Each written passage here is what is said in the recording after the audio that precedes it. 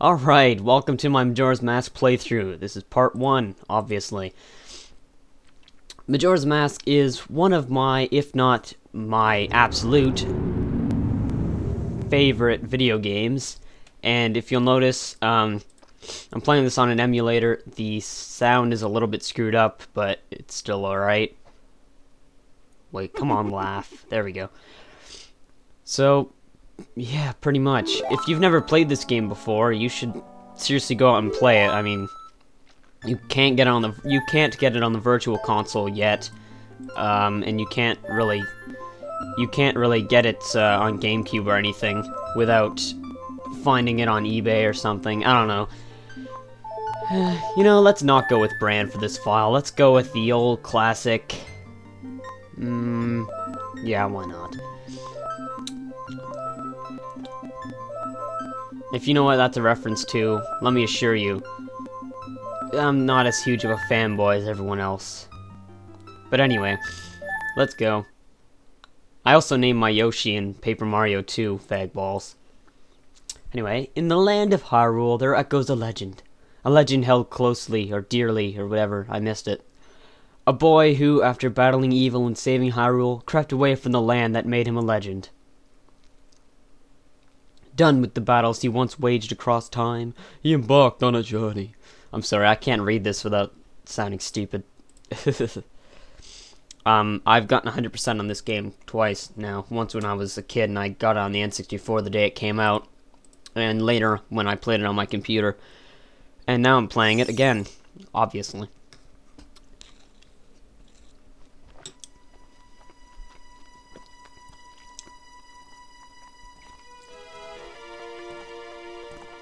But yeah, if you've never played this game, um, I really do suggest you go and download it and play it. And if you have a Wii, buy it when it comes on the Virtual Console, because it is worth the money. And like I said earlier, it's one of my favorite games, possibly my favorite game, completely. Because I can't really think of any game that I like more than this, but at the same time, I'm hesitant to call it my favorite game, because it's very I can't play through it constantly. It gets boring after a little while, but I can just I get 100% and I don't want to play it again right away, but I do want to play it again later in like a year, you know, like I'm doing now, basically. I'm a little bit sad that I have to do a playthrough of this, because really, once you've done a playthrough of a video game, there's not much left you can do with it. it kind of takes all the fun away. Anyway, here's our antagonist of the game, the Skull Kid. It's revealed near the end of the game that this is actually the same Skull Kid from Ocarina of Time, the one in the forest that you give the Skull Mask to. At least it's implied. And he, those are our badass fairies. We'll get to know them later. And that's our horse, who seems completely oblivious to the fact that Link is getting molested by the Skull Kid. Doesn't seem to care in the slightest. Oh my god, a blue instrument. I assume you can read this for yourself. I don't. I'm not too good at voice acting, so. Well, you know, I don't feel like reading all the text really. Not nothing to do with my skill in voice acting. One thing I don't like about this game, well, I do like the animation, and the cutscenes. It's very good actually, but um, for an N64 game, of course. But um, I don't like how long it takes to get into this game. It takes something like six parts just for me to to uh, get into the main quest, which is quite annoying. Even then, I don't even get to the first dungeon for quite a while. anyway, but you know, for now, we're getting dragged across the blurry, pixelated grass. Yep. I do think this game has aged quite well, and apparently a lot of people disagree with me, but I think it still looks pretty decent.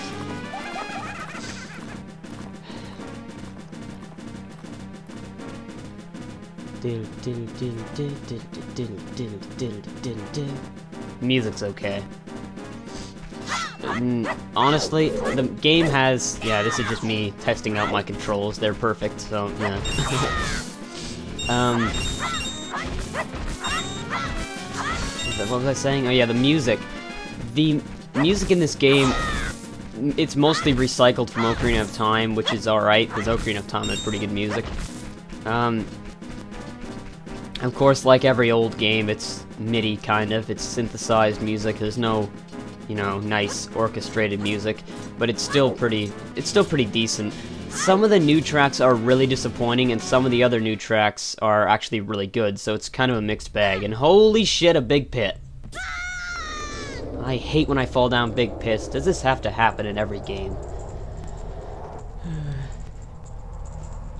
oh my god, a whole bunch of clocks and masks. Whatever those are. Oh god, not a flower. Uh. I have no idea what that sound is supposed to be. It's just it's just like he pulled a string and turned on a lamp but the light seems to be coming from a hole in the ceiling, two different holes. The lighting just makes no sense. what can I say? But yeah, like I said, the cutscenes are pretty good actually, and I really do like the, the the Skull Kids little theme here that you're hearing now.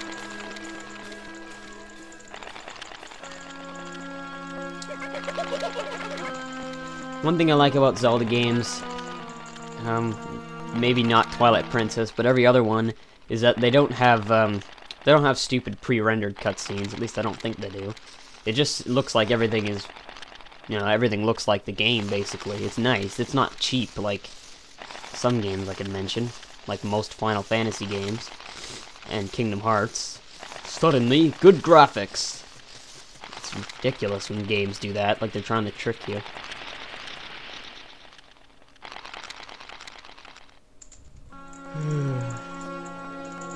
That's an inverted Triforce.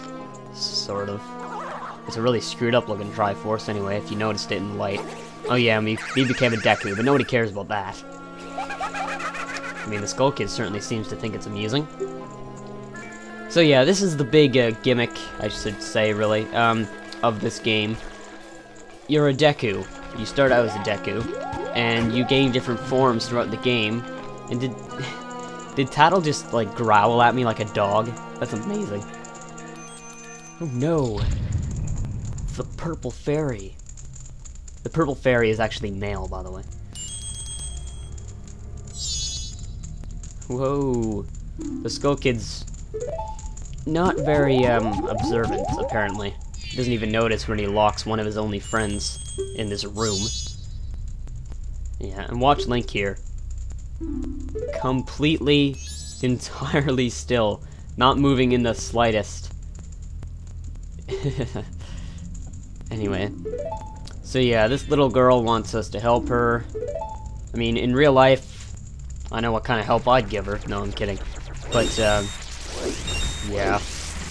But this isn't real life, this is Zelda, so let's, let's move on. Let's, trying to get out my controls, there we go. There's my shield. Nice shield. Not shield, you might say. Anyway. And then, of course, our Navi wannabe. Talking stuff. Saying stuff. Alright, whatever. Why do we always have to have a fairy with us? At least she's not as annoying as Navi. And her name's Tatl, by the way.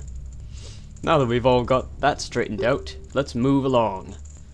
Press C up, which on my controller is select. And Link agrees. I'll see you in part 2.